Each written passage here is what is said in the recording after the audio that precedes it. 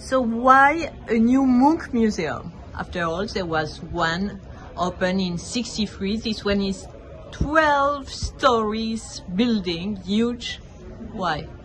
It's actually five times bigger than the old museum in terms of exhibition space.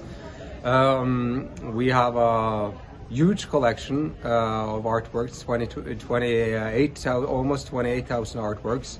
Um, and the old museum building was getting too small.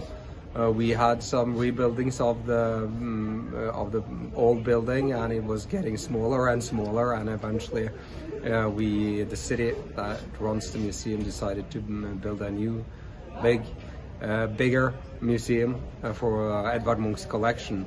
And the Munch collection is huge. It's huge, yes, 20, 26,000 artworks.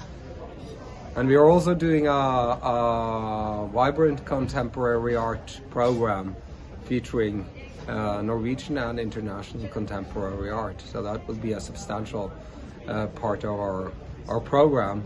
Of course, showing the collection of Edvard Munch, but also showing temporary exhibitions dealing with modern modern art, uh, Munch and his contemporaries uh, like the Savage Eye exhibition dealing with surrealism and symbolism opening in February, but also contemporary artists like Tracey Emin, yes. whom we're doing now.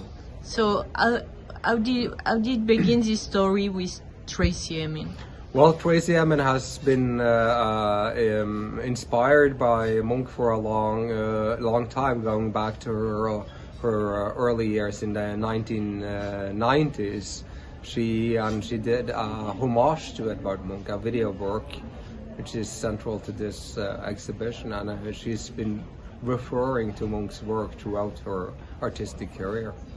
Yes, and it's a very loud video, right? Yes, She's it's, screaming. She's screaming. And exactly. finally, we have the, the sound of the scream.